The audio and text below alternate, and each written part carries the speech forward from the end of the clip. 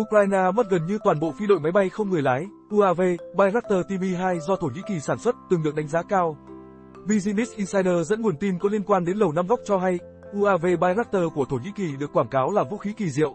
Các quan chức ở Kiev tuyên bố loại vũ khí này sẽ giúp họ có lợi thế trước Nga.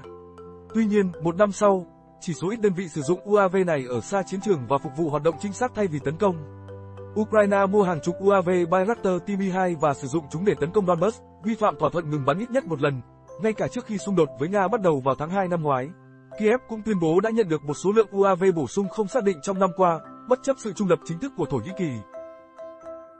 Giai đoạn đầy của xung đột, Kiev thường xuyên tuyên bố các cuộc tấn công thành công bằng cách sử dụng Bayraktar TB2.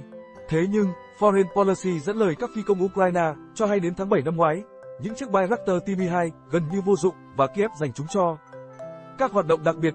Tháng trước, Phó Tổng tư lệnh lực lượng hàng không vũ trụ Nga, Trung tướng Andrei Demin tuyên bố các lực lượng Nga đã phá hủy hơn 100 máy bay không người lái Bayraktar ở Ukraine.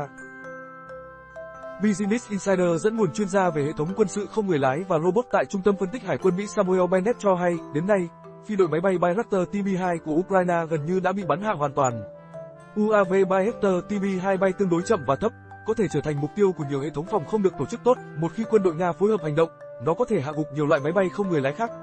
Ông Bennett cho biết, UAV Bayraktar TB2 do công ty Thổ Nhĩ Kỳ baika Makina thiết kế, với giá khoảng 2 triệu đô la Mỹ, chiếc Ankara đã chào hàng dòng UAV của baika từ năm 2020, khi chúng được cho là đã giúp Azerbaijan giành lợi thế trong cuộc chiến Nagorno-Karabakh năm 2020. Quân đội Thổ Nhĩ Kỳ cũng triển khai UAV Bayraktar TB2 ở Syria và Libya. Cảm ơn các bạn đã xem bản tin.